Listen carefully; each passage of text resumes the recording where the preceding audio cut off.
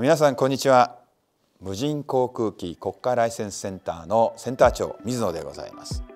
えー、私は小型系飛行機のパイロットを約30年務めて2000時間以上の飛行時間を持っております、えー、空の世界で、えー、ずっと生活をしてきましたが、えー、この度、えー、この無人航空機国家ライセンスセンターのセンター長として皆さんと一緒にこれから無人航空機に関するですね指導を行っていこうというふうに思っております。無人航空機産業がですね2025年には6400億円産業に発展するという、えそういった統計も出ておりましてこれから非常に伸び率の高い分野なんですね。えなぜこんなに無人航空機とが盛んになるかといいますと実は人口が減っているそして物流に関する従事者も減ってきている。物流が増えて運ぶ人が少なくなる。これはもう自動化にしていくしか方法がないということで国を挙げて有人地帯で飛ばすことができるようなシステムを作ろうということで、まあ、国家資格ができたわけでございますが物流に至らずさらに点検農薬散布そして今までやっていた空撮もですね海や山だけではなくて今度はスポーツ施設の会場でやったりイベント会場で飛ばしたいということもこれから出てくる。そういった時代に入ってきた。我々はこれをレベル4の時代というふうに呼んでおります。まあ、そういった新しい時代を迎えて全国に33校の無人航空機国家ライセンスセンターをこの度開設いたしました。もちろんこれからこの学校の数を増やしていく方向ではおりますがこれまでに7年間の間にですね約7000名以上の講習者を輩出している団体でございます。我々自負しているところは高い教育ですね。皆さんを教える講師陣が豊富な経験と知識を持って皆さんに対応しているというところ。それと国土交通省の方から学科試験実技試験を受けるためのそれぞれの教則等も、えー、配布はされておりますけれどもこれをさらに分かりやすくした教材を制作してですね、教育に利用していくまた e ラーニングを使ってオンラインでも教育ができるシステムを構築していてですね誰もが気軽にドローンの勉強ができる。そういった環境を整えているわけ。ですざいますね。まあ、こういったさまざまな教育に関する知識そして教材を取り入れてこれから皆さんと一緒に教育をしていきますけれども無人航空機、えー、下にカメラがついて空撮映像も撮れるということになってきますが今後ドローンツーリズムといってドローンを使っての観光にも生かしていく方向も出てくると思いますしドローンの産業はさらにいろいろ広がりを持っています、えー、皆さんがこういったドローンの産業の中に携わってこれから活躍するためにはこの国家ライセンスを取ることが必要になってきます。これから広がるドローン産業に向けてしっかりと勉強し仕事をしていっていただけたら幸いです。ありがとうございました。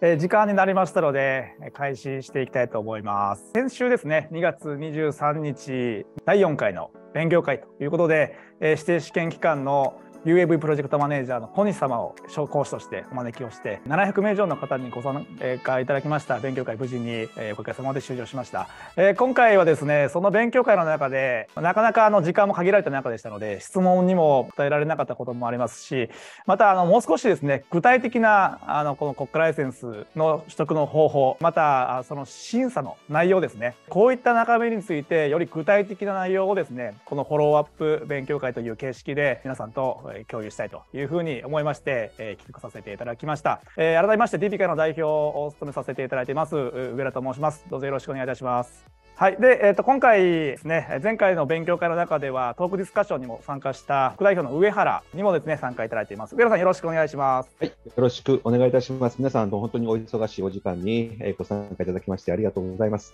えー、お疲れのところではございますけども、えー、本日、あのー、できる限りですね、えー、皆さんのお役に立てるようなお話ができるようにというふうに思ってます。どうぞよろしくお願いいたします。はい、ありがとうございます。あの今日は上田さん、今日はえっと具体的なですね、えー、内容、この国家ライセンスに関する内容をどこよりも詳しくお伝えするというのが今回の、ね、えー、メイン企画でございますので、はい、えー、ぜひ、えー、このあたりいろんな経験、また知見、はい、えー、お惜しみなくえー、発信できたらなというふうに思いますのでよろしくお願いします。はい、よろしくお願いいたします。はい、あとですね、Q&A、えー、を受け付けます。あの前回答えられなかった質問も一部今日はお伝えしますけれども、えー、ぜひあのこのウェビナーのですね Q&A というところからご質問をいただけましたらまたその場でこちら拾っていきますので、え、どうぞよろしくお願いしたいと思います。それではですねちょっと今日あの前回のディピッカーのえプレゼンテーションの中でですねお勉強会の中のプレゼンテーションの中でもえ使用させていただいた資料の一部を使ってまたさらに、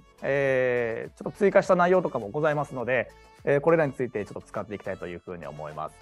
えっと、まずですね、え前回の勉強会の中では、あの私、上田の方から、えこの登録講習機関における、えまあ、国家ライセンスの取得についてということでテーマにして、まあ、20分間の時間でですねお伝えをさせていただきました。え小西さんの方からは、え指定試験機関という立場で、え国家試験ですね、えまあ、一発試験俗に言う一発試験の方の、まあ、内容を中心にお話ししていただきました。まあ、個人的な見解もあってあの非常に分かりやすい解説だったというふうには思います。まあ、前回の登録講習機関の説明の中でなかなかあの時間も限られてましたのでこの辺り今日は、えー、今の赤文字になっているところ具体的なサービスそして、えー、この審査終了審査の内容であと国家ライセンス取得までのフローこの辺りのこの 4, 4点をですね重点的に今日は共有していきたいなというふうに、えー、思います。まずはえ登録講習機関で行うべきの必要な講習内容についてを共有していきたいと思います。で、まあこれからの流れとしまして私の方から説明をしていきまして上原代表の方からですね、えー、まあ補足またあのいろんなあのためになる情報を共有していただこうというふうに思いますのでしばしお付き合いくださいませ。指定試験機関の一発試験もご覧になられている方の中でも受けられた方もいるかもと思いますし、まあ、あのあと民間講習ですね、えー、民間講習我々のフライトオペレーター講習会とかまた耳鼻科以外のスクールで、講習会を受けられてで技能認証というですね資格民間ライセンス持たれている方おられると思います。で今回国家ライセンスの取得につきましてはですね登録講習期間、えーまあ、講習を受けまた学科試験というものをクリアするとえー、いただくとですね、まあ、実地試験というところがまあ免除されるというような立て付けになっております。登録講習機関の方でこの学科講習、まあ、我々としましては e ラーニングの形式でですね、えー、お届けします実地講習についてはその中に最後に終了審査というものを行います。で、まあ、それがですね実地試験の内容とまあ、準用されているというかただまあ後で説明していきますけども登録講習機関における終了審査と指定試験機関における実地試験は内容は同じことをやっていきますけどもあのまあ全然ね、えー、形態が違ってきますのでそのあたりについてはまた後ほど詳しくお伝えしたいと思います。実地試験が免除されますけども必ず学科試験の合格と身体検査というものが必要になってきますので、えー、これらはですねクリアしていただいてその流れの中で免許証を取得というふうな流れになってきます。一応ですね、まあ、あの国交省の方からはかなり細かく履修科目というものでですね、えー、定められています。初学者、経験者等2等の区分によってですね、えー、まあこれらを何十時間、何時間以上行いなさいという内容が書かれていますので、まあ、これらに沿って行っていくという内容です。まあ、まずはこの、まあ、耳鼻科以外の登録講師機関でも、ま、同じようなこの概要と履修科目について、え共有させていただきました。気になってくるこの終了審査の内容ですね。ここについて少し深掘りしていきたいというふうに思います。まずは終了審査科目というところで4項目ですね今設定されていると、え基本という項目と限定変更という項目、えこれが2つ設定されています。基本とはというところなんですけれども基本とは中間。これ昼間っていうふうに書いて中間ですね。中間に目視内、目で見える範囲にて最大離陸重量 25kg 未満の機体を飛行させるために必要な技能を測る終了審査のことです。また後ほどこの基本の演目3種目共有させていただきますけどまず基本というものがまずベースにあるとその習慣そして目視内また 25kg 未満のこの限定された飛行形態を解除するためにこの限定変更と呼ばれる講習内容がちゃんと設定されています。ですので、えー、まあ、夜間飛行や今後目視外飛行また 25kg 以上の機体を飛行させるライセンスを取得するという方についてはこの限定変更の講習を、え受けてそして終了審査を経ていただく必要があるということが必要になってきます。まず上原さん、この説明で間違いないでしょうか？はい、あの合ってると思います。はい、ただ、あと一つだけお気をつけていただきたいところは、あの基本と限定変更をご一緒に受けたいなというふうに考えられる方いらっしゃると思います。うん、夜間に間の変更もしてもらいたい。それから、あの、目視外でやっぱり今後どうしてもね、レベル4を見据えていくと、目視外というのはもう、そこはもう前提というふうになってきますから、当然それを組み合わせて受けたいという方にとっても、限定変更の項目は合格の、ね、ラインまでは、えー、なんとか確保できた。でも、基本でえー、できなかったとなってしまうと、限定変更自体はあくまで基本があって初めて限定の変更ができるという解釈になりますので、基本がまず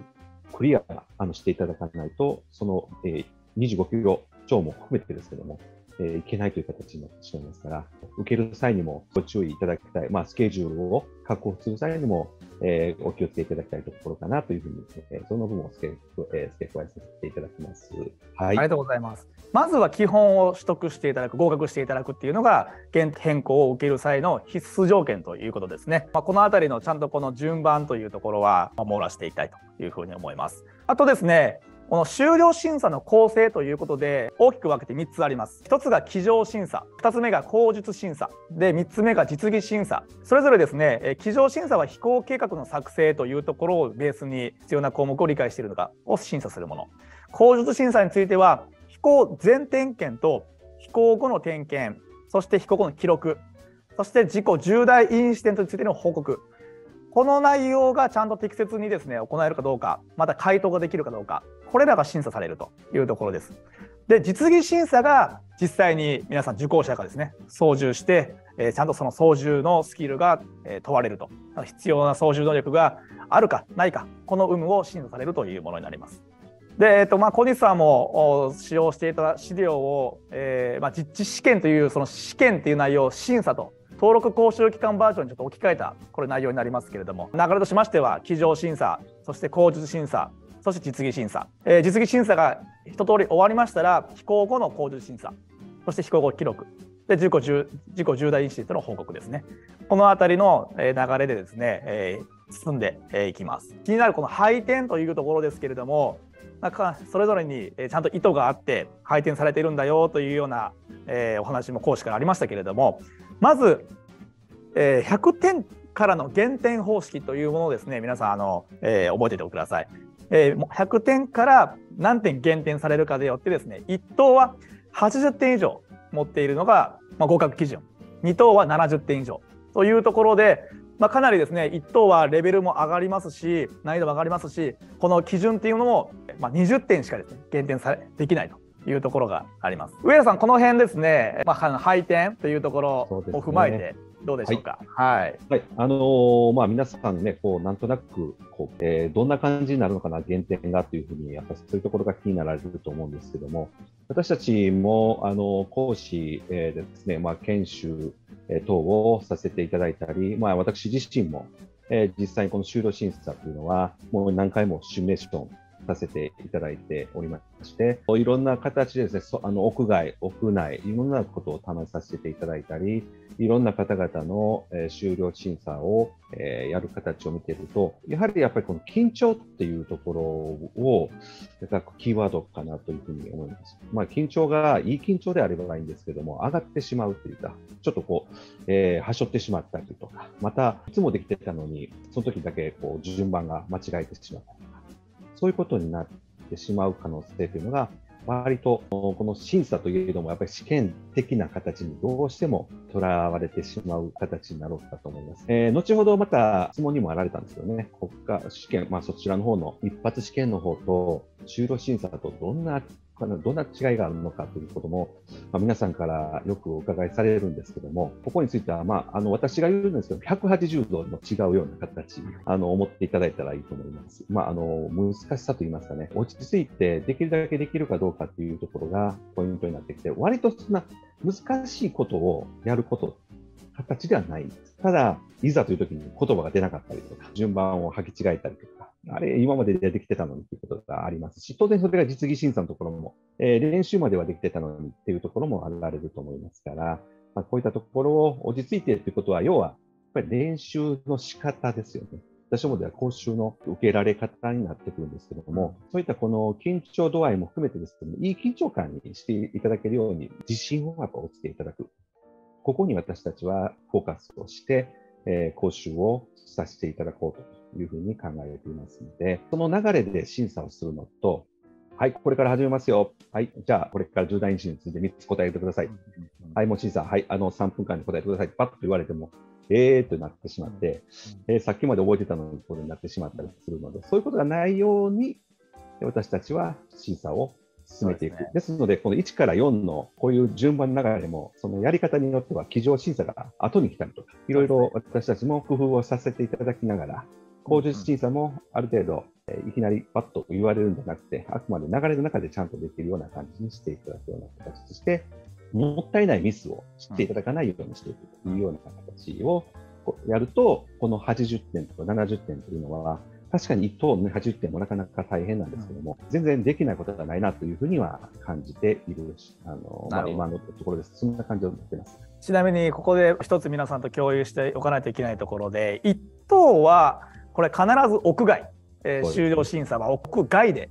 実施しなければいけないということがこれはあの国の通達があの告示されています。実施基準ですね。明記されていると。2等についてはこれはあの屋内でも我々で今体育館の中とか、えー、こういった場所で実施できると。っていうことでやはり1等については風の影響であるとかこういったものもかなり受けるというところもありますのでやっぱりなかなかあの思うようにはスムーズにいかないような感じでしょうかね、やっぱり。そうですね、あのでもやっぱりその今ね、あの上田さんからもあった通り、やっぱりその屋内、屋外も両方とも言えるんですけれども、練習からそこでやっていたか、いきなり審査でそこでやるのかっていうのとは全然違うんですね。私もやっぱりそれはそうです。やっぱり知らないところで、いきなりこう初めて見るところでやって、あの距離感が捉えにくいとか、いろいろやっぱり出てきますので、えー、距離感の捉え方ってやっぱり慣れがないとなかなか講習でこうね、あの操縦技能が上がってきても、いきなりこう違うところで、あの奥行きがちょっと分かりにくいってなってしまうと、これまたこう壁がすごい近いところにあったりすると、変に緊張して、先ほど言った緊張というのが変な方に邪魔して、思ってなかったミスをしてしまうという形にもなりませんので、やっぱり慣れ親しんでいるところで、就労審査を迎えられることができるかどうかというのは、大きなそれはあのポイントになってくるんだなというふうに思います。まあ、こういったその、まあ、環境っていうのも踏まえて終了審査の実技審査はですね行っていかないといけないと。これはあの今からお見せしますこの内容はこれは1等また2等のこの実地試験のですね最速実施最速というものが国から発表されているんですね。でこの実施催促の内容、まあ、非常にこう、まあ、法律の内容を読み解く力が必要になってくるんですけども今お見せしている内容っていうものはこの実施催促に書かれている内容をもう少し見やすく、え表にしたというような内容です。ここにですね不合格また減点適用基準というものが網羅されています。その内容をですね、えー、まあ、こういう形で、まあ、赤が一発不合格の、まあ、不合格適用事項ですね。この黄色が減点。1回につき5点の減点。でこの緑が少しちょっと評価がですね少し迷うようなこの機体のふらつきであったり不円滑、ね、こういった動き。こういったものが総合評価という形で1点限定されていく。1回につき1点という形で限定されていきます。まあ、一つちょっと見ていく見ていきますと例えばこの不合格で危険な飛行というところでですね例えばあの5メートル毎秒以上の速度で機体を飛行させたらもうこの時点で一発不合格。またあの、まあ、こうないと思いますけど講習受講者が他の人から、えー、助言とか補助を受けたこういった不正行為があった時は一発不合格ですよと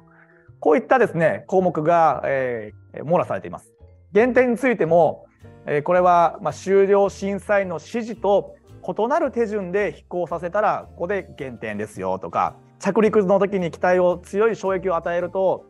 これは1回につき5点減点ですよとかというような減点の適用基準がここにずらっと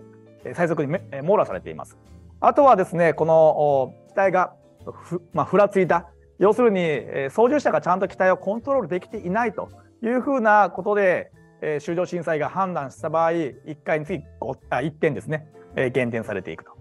これらをまあ経て先ほどのですねなるべく減点数が少ないように、えー、実技審査をスムーズに進めていく必要があると。はい、いうことでございますけれども、どうですか、この減点適用基準。ね、あのこういったことも当然、私ども講習の中で、こういうポイントがこういうなりやすいよっていうところを、当然まあお伝えさせていただこうと、それを実際に練習をしていただいた中で、あこの感覚を身につけていただく、でもなぜ、まあ、こういうことを求められているかというところが、まあ、まあ、この前、小西さんの方からもですね、ある程度お話があったと思うんですけれども、まあ、この飛行経路が逸脱であったり、指示と異なる飛行であったりとかいうのも、やはりあのそこ落ち着いて、きちんとですねあのコントロールをしていただいているかどうか、ね、あのそういったこう指示に従った動きができるのかどうか、こういったところをきっちりと見ていくという形の内容になっていきますので、ちゃんとご理解してやっていただければ全然難しくないことなんですけども、うん、先ほどの、まあ、まあ何回も言って申し訳ないんですけども、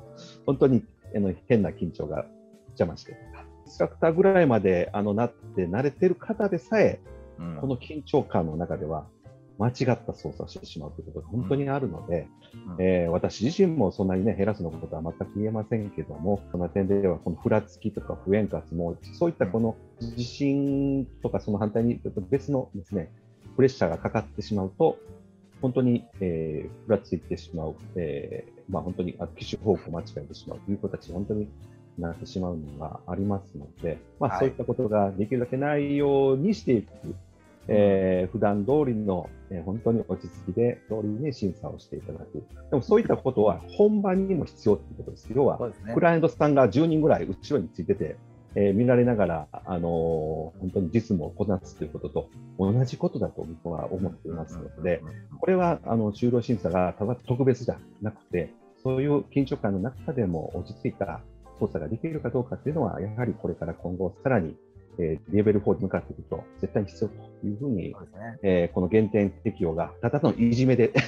適用されてるんじゃないという形ですね、うん、ねそういうふうにご理解いただければなというふうに思います。はい。はい。まあ、この辺りについてはあの講習を受講していただく方にもちゃんと共有していく資料になってきますので、まあ、これら減点適用基準を理解した上で、まあ、それにね、えー、適用されないように、えー、しっかりとトレーニングも講習の中で積んでいきたいというふうに思っております。はい、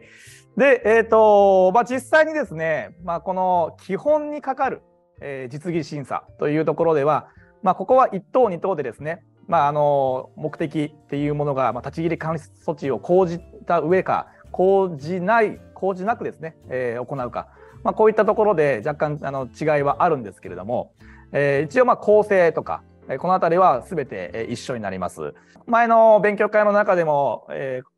お見せしたかと思うんですけれどもまずこの1等のこの終了審査基本の演目1つ目行動変化を伴うスクエア飛行ということでですね、えー、まあ小西さんが説明があったように、まあ、1等については、まあ、あらゆる環境でしっかりこの機体を操縦、まあ、操作できる、えー、というものが問われてくるということなので、まあ、この、え、B 地点から C 地点 D 地点から E 地点のこの移動の間では行動変化いうところがですね、えー、求められてくると。えー、あと8の字飛行については途中で緊急着陸ということでですね、えー、終了震災から、えー、緊急事態が発生した旨がアナウンスされて GNSS がオフの状態でですね、まあ、全て1等は GNSS オフでございますからビジョンセンサーもオフでございます。まあ、この辺りをオフの状態でちゃんと帰還できるかというところが問われますと。あとはピレットホバリングということで、えー、右回りもしくは左回りで20秒かけてピレットホバリング1周を実施するというようなところを問われ問われていきます。あと夜間目視外飛行、また夜間飛行にかかるこの限定変更についてはですね、まあ、ちょっとこう照度を暗くして行動変化を伴うスクエア飛行と緊急着陸を伴う8の字飛行を、えー、行っていくと。で、えーまあ、目視内飛行の限定変更は同じく行動変化を伴うスクエア飛行と、そして異常事態における飛行を行うと。こういったあの演目が課せられてくるというところでございます。2頭についてはこのスクエア飛行が高度変化が、えなくまた、え緊急着陸とかはですね、え求められない、まあ、まあ、普通の8の字ですね。そして、え異常地帯ににおける飛行ですね。これを GNSS オン、センサーオンで。えー、オフ、オフ、オフ、オフです、これは。あこの異常事態はオフですね。この異常事態はオフだけれども、このスクエア飛行と8の字飛行についてはオンですね。はい、これ、オン、オン。で、これがオフ。オフ、はい、そうです。そうです。はい、オフ、オフ、オフ。オン、オン、オフということですね。はい。まあ、基本、まあ、1等については、まあ、原則、もうオフの状態で。2等については一部オンの状態ですけれども、異常事態においては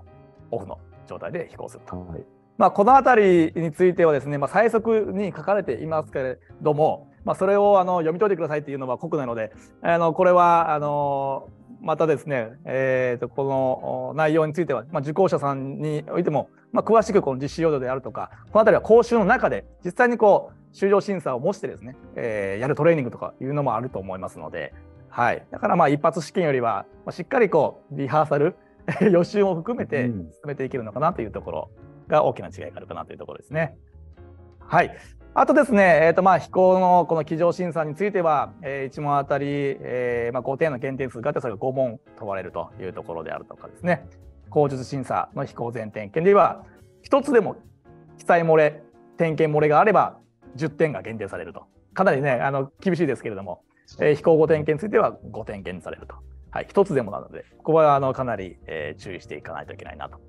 はい、日常点検記録様式というものが国の、えー、ホームページのにもアップされております。この点検項目にですね、従って、えー、受講者は点検をしていくというような流れになります。はい。あとは、この、まあ、重大インシデントですね、ここについても、あの当然、一発試験の方は問題とかね、なかなかあの知らされない中で、えー、質問されるので、うっとこう詰まってくる可能性、先ほど上原さんも話があったようにありますけど、この辺りもしっかり講習の中で、えーまあ、トレーニングしていくというところでですね、まあ、しっかりその対策が講習の中でできるのかなというふうに思います。終了審査の内容について共有させていただきました。え具体的なこのまあ講習サービスについてはあの最後にですね共有させていただこうというふうに思うんですけれども、じゃあ、あの実際の取得フローについても確認をしていきたいというふうに思います。ライセンス取得までのフローということで、参考というところですけども、終了審査、登録講習期間で講習終了審査を受けて、えー、すぐに免許発行ではなくて、ちゃんとこのやっぱり学科試験っていうのは必ずクリアしなければならないハードルです。でこの等また2等というものに対しては全国で160会場約160会場でま随時受験が可能というところでですねまあ、一つ CBT 方式ということで、まあ、パソコンが空いていればすぐに試験が可能ということで上田さんも実際に一等受けられたということで。はい、まあまあ、あのおかげさまで、はい、おめでとうございます。合格いただきましたけども、まあ、あの私どものインストラクター、たくさんあの受けていただいてて、もうたくさんもう合格者が今、25名ですね。はい、そうですね、うん、確かに時間的なことっていうのが、確かに皆さん気になるところかなと思って、75分で70問。大丈夫なのかなというふうに思いますけども、あのまあ、2等も含めてですけども、この部分については、確かに実感的なものはそんなに余裕はないと思います。ですので、私どもとしてはやっぱりある程度、その例題集、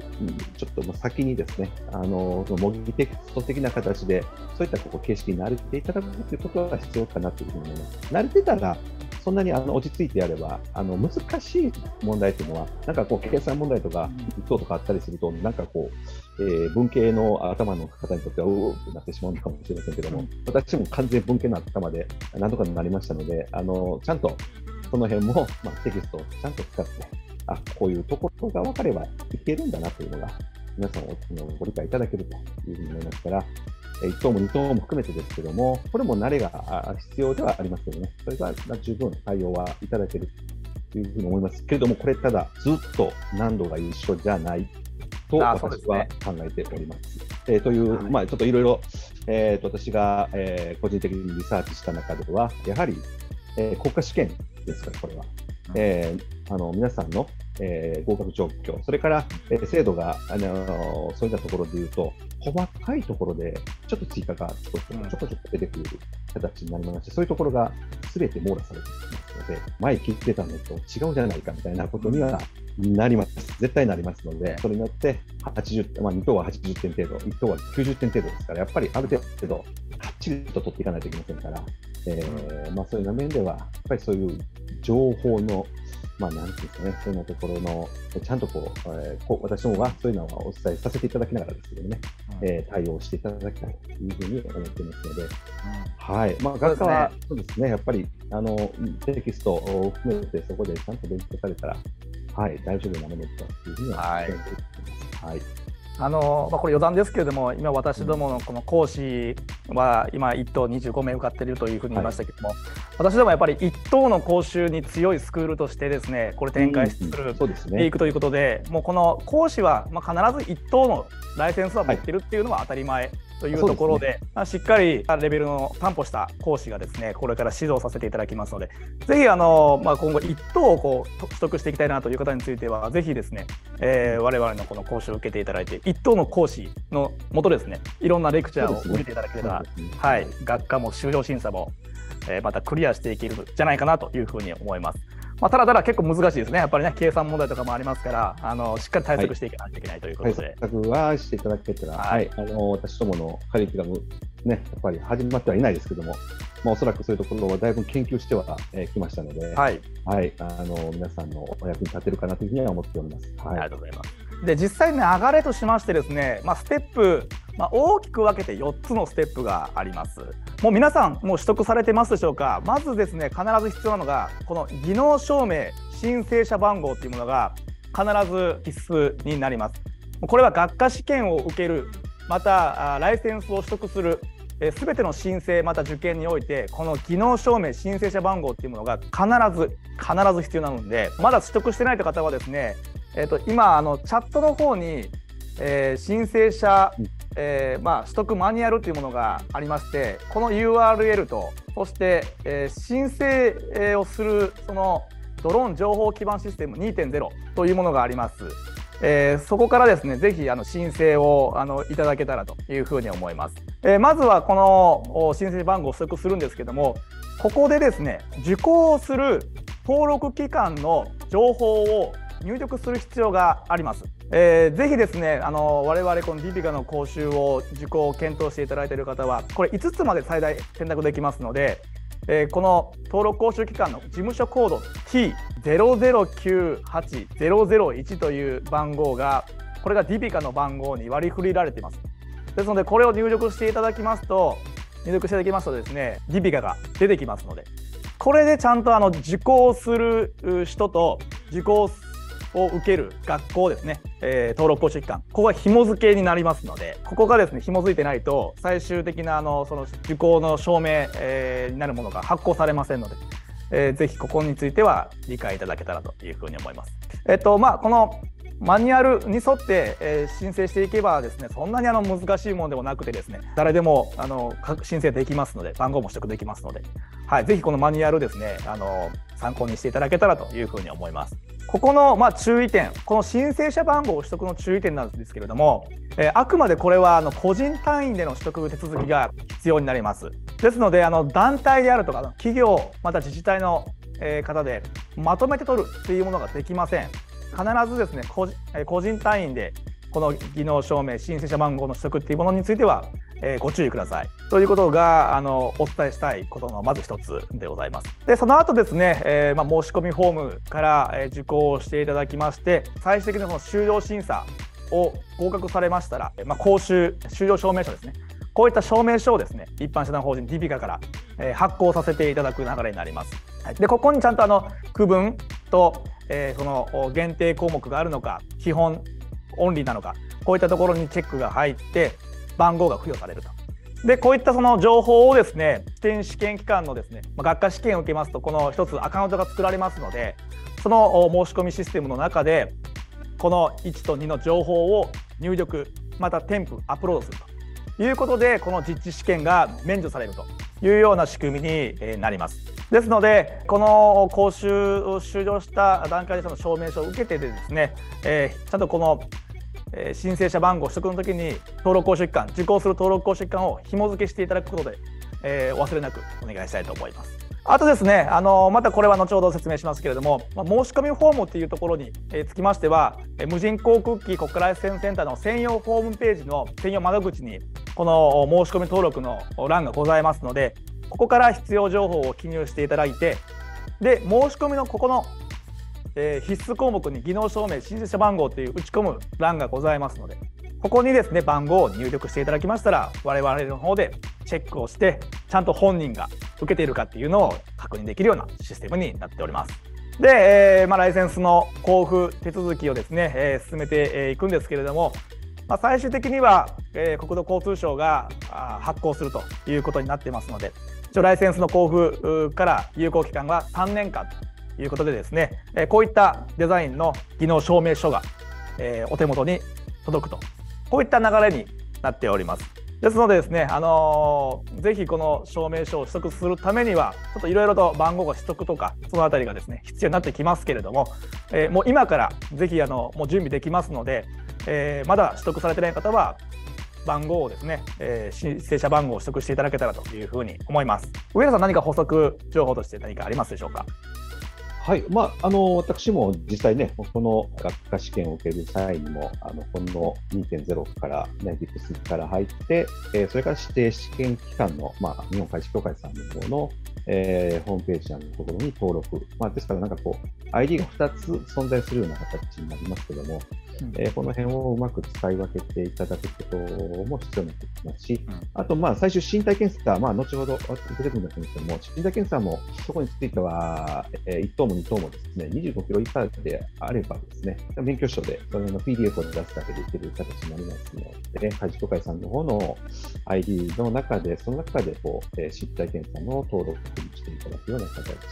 という形で、まあ、あのこの2つの管理という形はですね、これ今後も更新するときも、えー、必ず必要とする形になってまいりますので、でね。えー、この辺がですね、どこか行って分からなくなっちゃったってならないようにだけでね、管理,、まあ、管理をね、えー、しっかりと進めさせていただきたいなというふうに思います。はい、あと細かくちょっとね、お金がちょこちょこちょこちょこかかりますの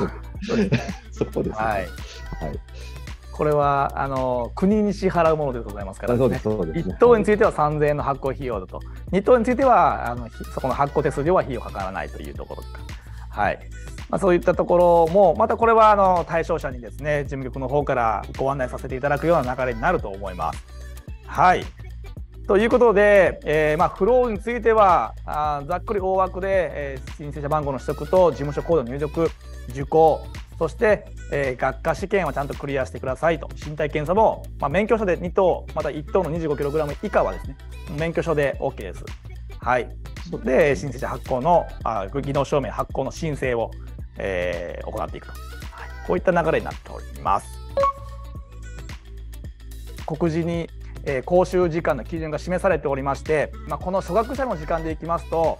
大体まあこの飛行時間鑑みて、えー、大体この初学者の金額になってくるということです。ただ我々としましてはこの初学者というものについては特にこの、まあ、推奨はしていきませんまずはですねこの経験者というこの枠組みをぜひ、まあ、存分に生かしてえ受講をしていただきたいなというふうに考えております。で、まあ、国の定義では特に一律に設けてませんということですけれども我々その中で、えー、ま民間技能認証こういったあのリビカではこういったカードですね、機能証明書というものを発行させていただいておりますけれども、えー、こういったカードを持っているもの、または持ってない方でも、その10時間以上の飛行経歴を有していましてですね、それを提出して、我々のこのライセンスセンター長が経験者として認めるものに関しましては、経験者枠での受講をしていただくことができるというところになっています。で、その経験者の対象としましては、等2等でそれぞれ1等の基本が33万円。2等の基本が7万8000円。2等は1日で終了審査まで込みになっております。1等につきましては実技が3日間で。でその3日間の中で終了審査が入っていると流れになります。ちょっと今日は参加していただいている方に一つこの経験者枠の報酬において注意点がございますのでちょっとこのスライドを見ていただけたらと思います。この経験者枠のですね講師特に2等なんですけれども今この青色部分ですね実技、えー、講習の基本にかかる時間は2時間以上ということで定められています。ここに書かせていただいている内容を少し読ませていただきますと、まあ、経験者を対象とした講習コースは初学者を対象とした講習よりも大幅に短時間で、え、実施するために講習中にはですね、まあ、講師から新たに操縦技能を学ぶという観点ではなくてあくまでこの操縦技能の復習また再確認という場になります。ですので、まあ、飛行経験に例えば3ヶ月ぐらいのブランクが以上のですねブランクがあるとかまた8の字飛行とかその GNSS ビジョンセンサーをオフにした状態での操作に不安がまだあるなという方については操縦をこう練習するという時間あんまり取れませんので事前に操縦練習を行っていただくか別途ですねこの対策講座というものを設けておりますのでそちらを受講されるということを、まあ、推奨をしたいというふうに考えています。えー、もう本当にあの皆様からよくあの聞かれて、まあ、半年前に、また1年前に、もっとさらにもう3年前、4年前に私どもの講習を受けられていただいていると、まあ、当然、その経験者としては扱わさせていただきたいところではなるんですけども、うんうん、ブランク、まあ、やはり皆さんもちょっとね、スポーツとかで久しぶりに会って、あの自分の勘が取り戻すまでちょっと時間がかかるとかいう方もあると思います。うん、ということは、あの特にあの、まあ、1等、2等もそうなんですけども、1等なんかは1日で、もう半日のあのそういった確認の時間しかないという形になってくると、うん、その勘を取り戻す前に終了審査を迎えてしまうという形にもなりかねません。えー、となってしまったら、皆さんがせっかくこう経験者として時間の短縮の中で出ていただいたのに、もう一度また試験を受け直していただかないといけない。なんとかね、受かれていただくようには、私どもも当然、あの最大限サポートはさせていただく、えー、所存ではあるんですけども、なんせこれどうしてもですね、あの時間の限りがあるので、まあ、そういったところで、いや、これちょっとやっぱり不安だなと、まあ、しばらく触ってないしなという形がいらっしゃったら、私も1日でそういったこの勘を取り戻していただく、えー、またその試験の対応ばかりをこう練習していくような形をしていきますので、まあ、そういったこの事前の終了審査をまあ無事に取っていただくために、まあ、そういったところでは、そういう講習をうまく使っていただけたらなというふうに思っております。はい、あのここ最終的にはここはご判断は最終的にご自身という形でそうですね、えー、なってしまいますので、はい、よろしくお願いしたいと思います。ありがとうございます。まあ、あの受講してから、えー、思ってたのと違ったっていうふうな誤解、またあの解釈のちょっとこうズレが生じないために、あらかじめこの点はですね、あの DB カからも伝えさせていただきます。まあ、しっかりこの辺りに前回小西さんとお話しさせていただいた中で、やはり実地試験やっぱり八の字飛行がかなりこうあのスムーズにできない方がやっぱ多いというふうな話も聞きましたけれどもやっぱ8の字飛行っていうのはやっぱりいろんなスクールで受けられている受けられてないっていうのもあると思いますし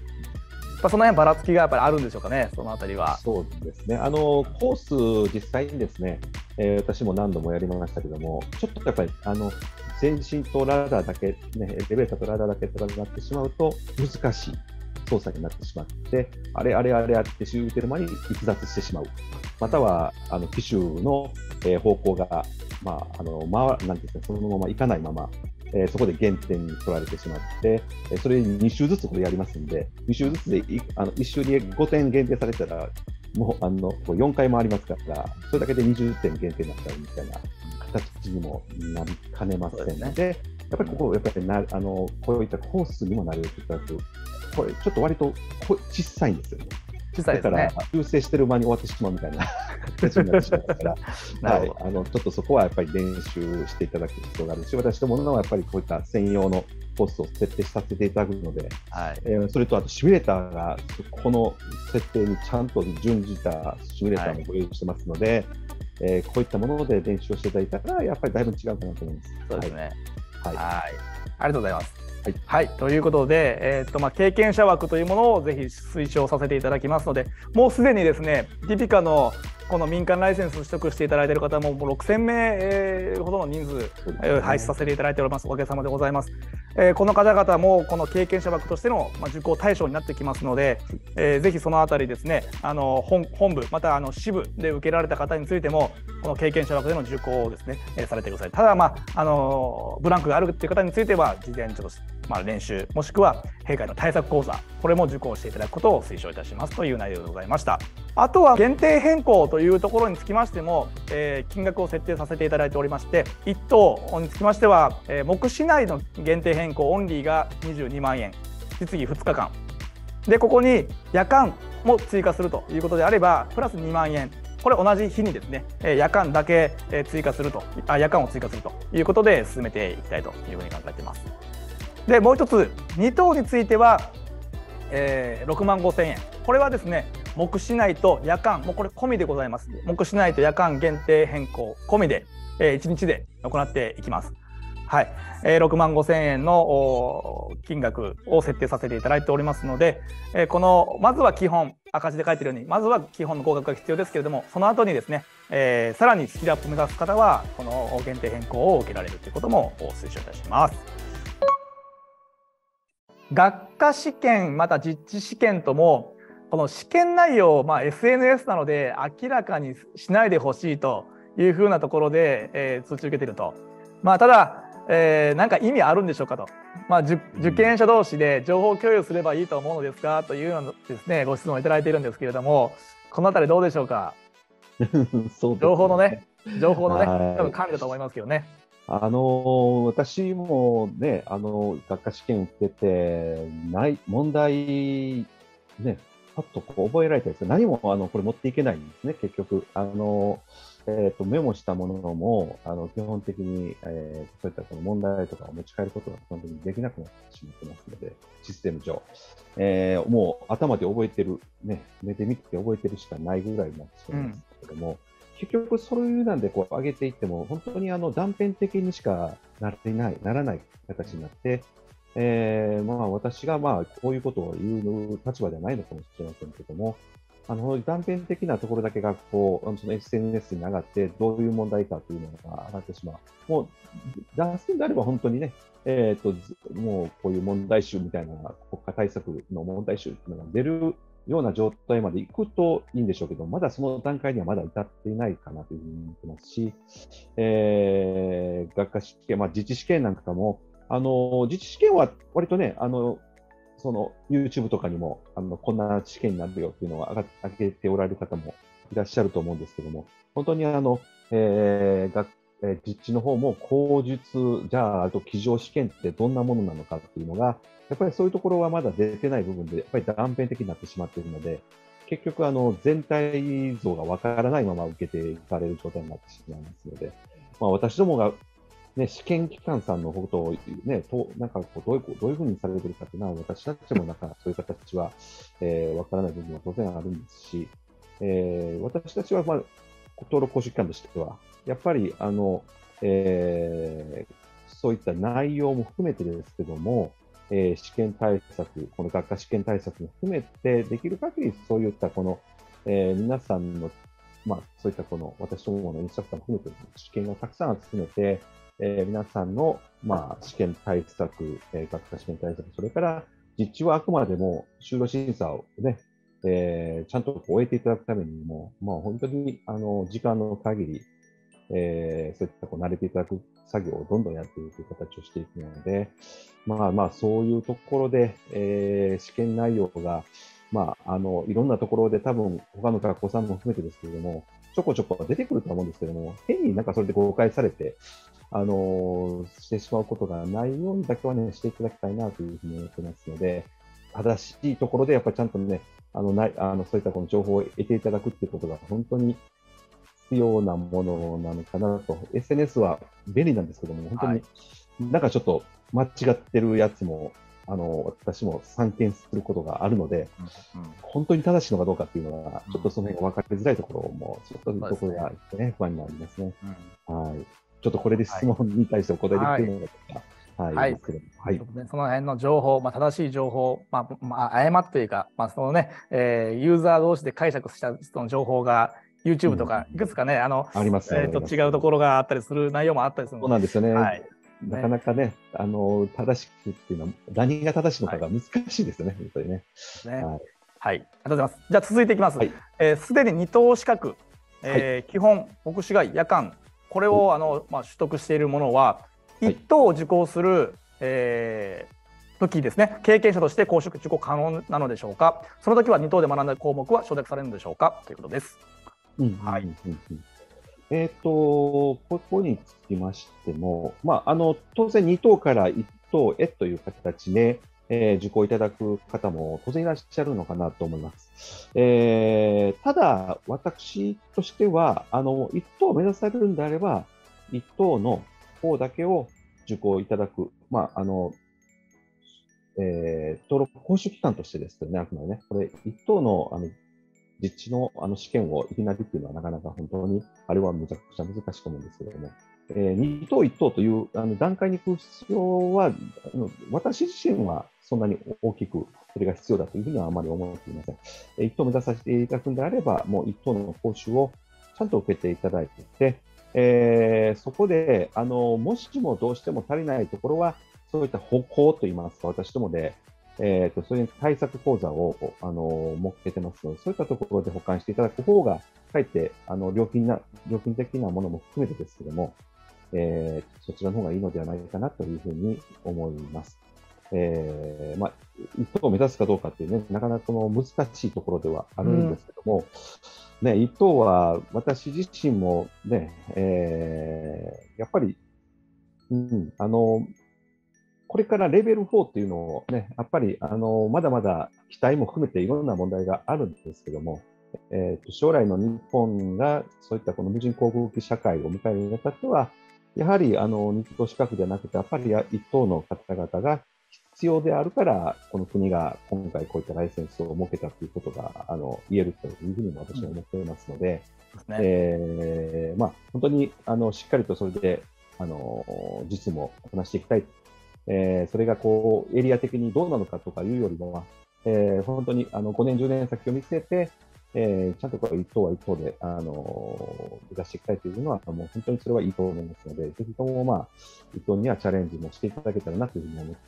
ております。はい。はい。まあ、あの質問のところの部分で言いますと、省略はできますね。省略、そうですね。はい。省略もされていますので、ごめんなさい。その話ができませんでした。はい。あの、2等に関してのことも全部含めて1等のことは入っておりますので、はい。そうです、そうです。はい。OK です。はい。続いて、えっ、と、いきます。よいしょ。1等の講習は、えー、野外のみでの実施とのことですが、直前になって雨になったら講習の取り扱いどうなるのですか？講習だけ臨時にしないということはできないでしょうか？ということですけれども。はい。お願いします。これは私どもも一応ですね、あの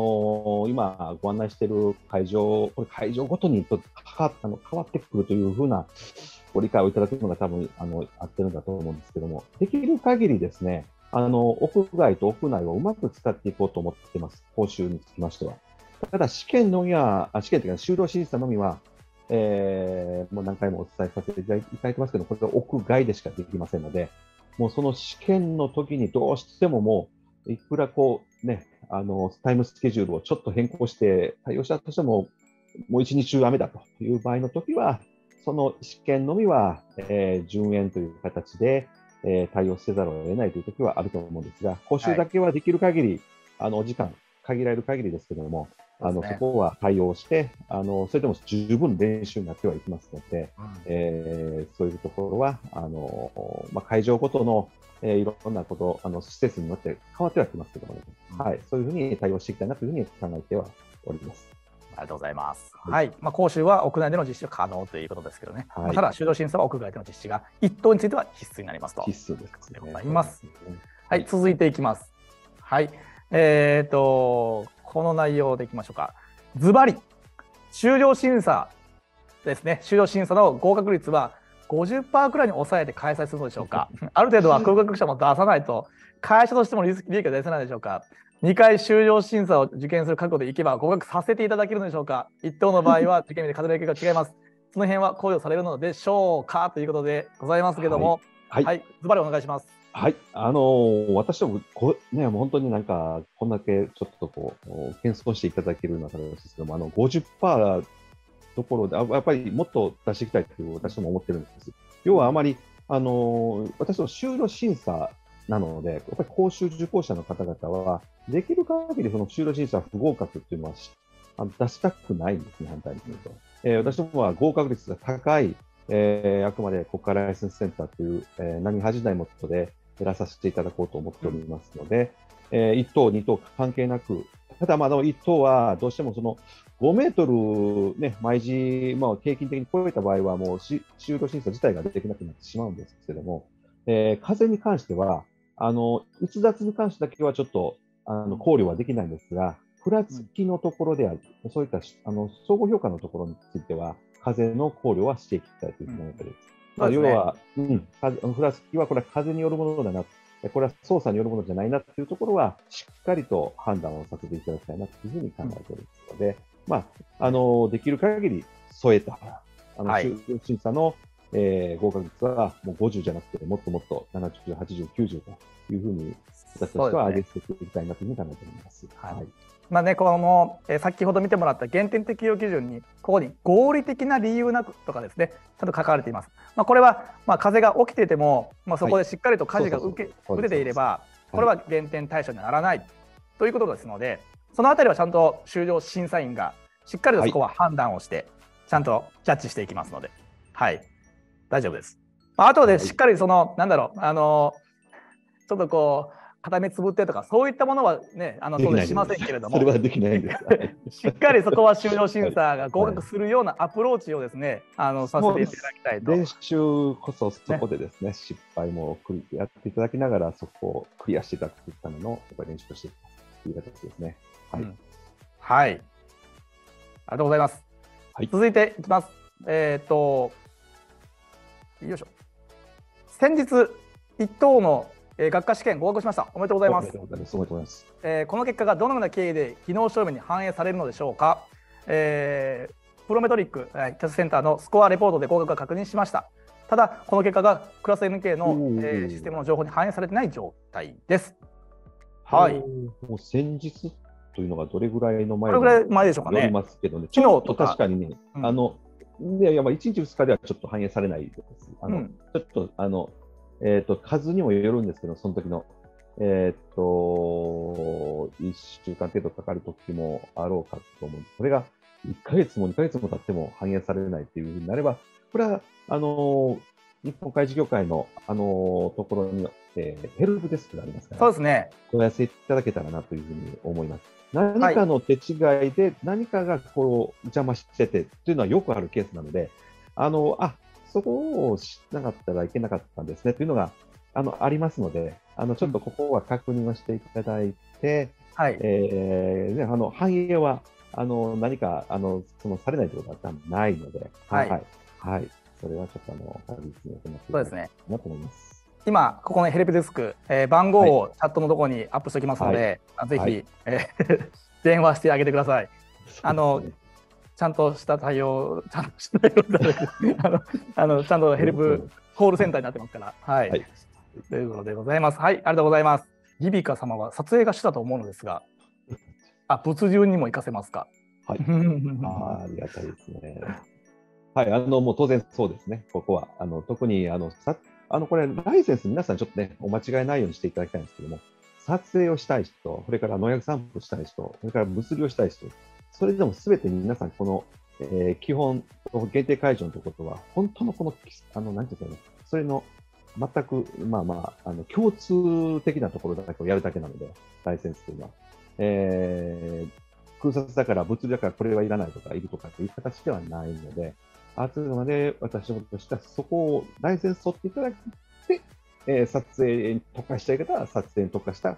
また別のその専門講習を。で、物流に対しては物流の専門講習をあの全国各地で行っていきたいというふうに考えてまして、私どもはあのそれを体育館でとかあのグラウンドでやるんじゃなくて、本当のあのルートを使って物流の、そういったこの講習を、えー、と用意を今、準備をしておりますので、えー実際の街を使って、あのーそういったこの、えーやる予定をしております。まあ、それはやっぱり自治体、えーそれから、えー国とかいろんな関係先の、えーまあ、そういったこの、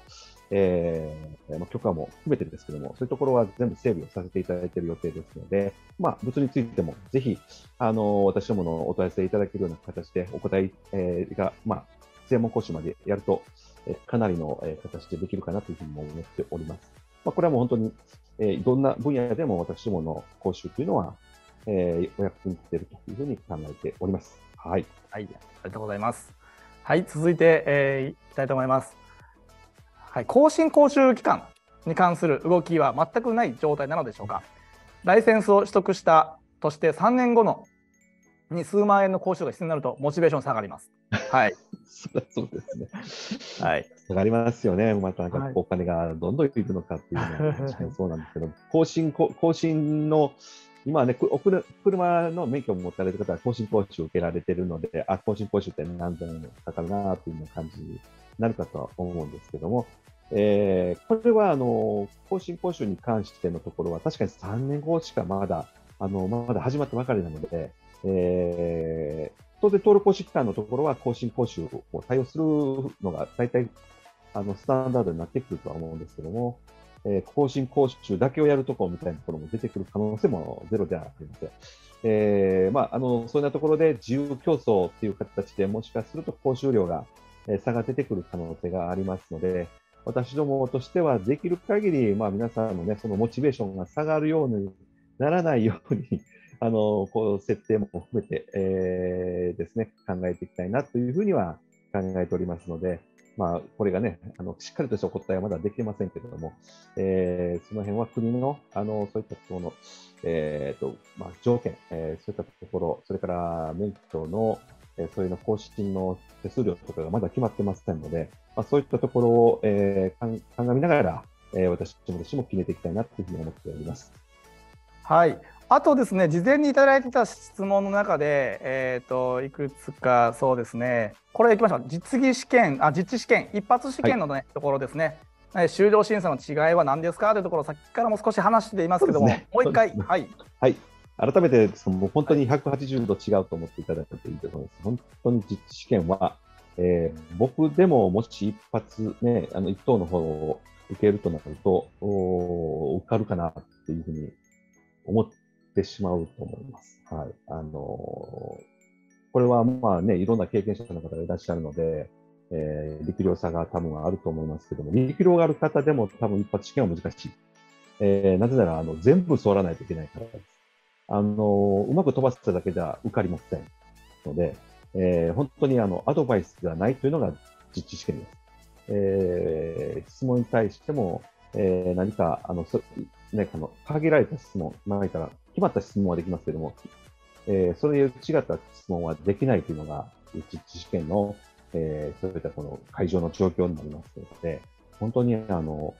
それでこうシャットアウトね、なんていうか、わ、聞けないとなってしまった、どうしようとかなってしまったりする可能性があるのと、修了審査というのはそういうところをなしにするっていうです。要はね、皆さんがハテナがないような状態で、えー、まあ試験の同じような感じではあるんですけど、内容が違うわけじゃないんです。別にやることの。